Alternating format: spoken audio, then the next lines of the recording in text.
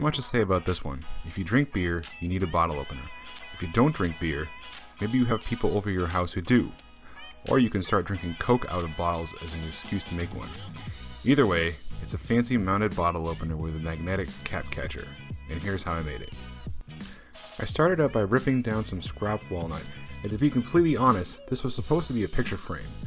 But I cut the maple too thick, and the border would have been too thin if I ripped the maple down into thinner strips. So I decided to make this instead. For cutting the maple, I used my thin strip ripping jig from Rockler.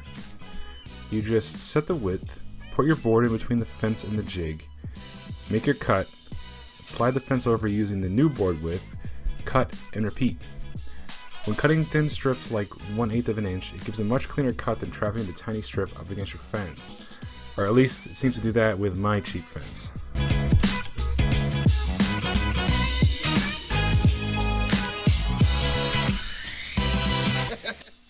If I had made the picture frame, the glue up would have been done in two sections at half the width of what you see here.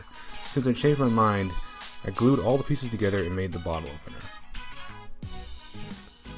Next I used the opener to mark the holes for mounting. Then I traced out where I wanted the magnet to go. I'm using a one and a quarter inch wide by one eighth of an inch thick neodymium magnet, and I'll put a link down in the description for everything that I'm using. Next I set the depth on my drill press so I wouldn't blow through the back, or I guess in this case the front, of the board. Then I drill up the hole with a one and a quarter inch Forstner bit. Here I'm drilling holes all the way through the board since I'm using the same screws to mount the board to the wall and hold the opener on. I picked up some one and a half inch stainless steel screws that are the same size as the ones that came with the mount.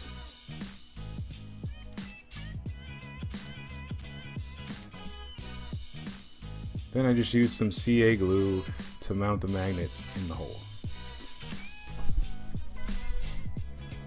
I sanded everything down using the 220 grit. I forgot to do, raise the grain, so I ended up having to fix that after the first coat of finish. I'm just using a regular polyurethane finish from Home Depot.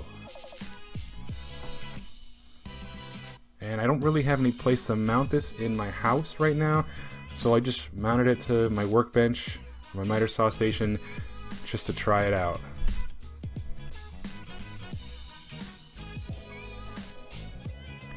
This is definitely a novelty item, but it's a cool gimmick to have.